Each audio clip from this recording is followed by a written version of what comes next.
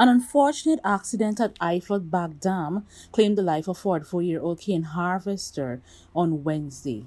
Dead is Dio Chan Lal Chan of Potential Housing Scheme West Bank Demerara. Inquiries disclosed at around 10.30 a.m. the cane harvester was in the estate Bag Dam picking up cane a short distance away behind the excavator. The excavator driven by 44-year-old Vikram C. Prasad of Parfait Harmony West Bank Demerara abruptly reversed at a slow speed without stopping. The track of the excavator collided with Lal Chan's feet, causing him to fall. The excavator rolled over him, crushing his body. He was picked up and taken to Leonora Cottage Hospital. He was seen and examined by a doctor on duty who pronounced him dead. The excavator operator was arrested and placed into custody. Further investigation is in progress. For Channel 2 Headline News, Esther Silvers.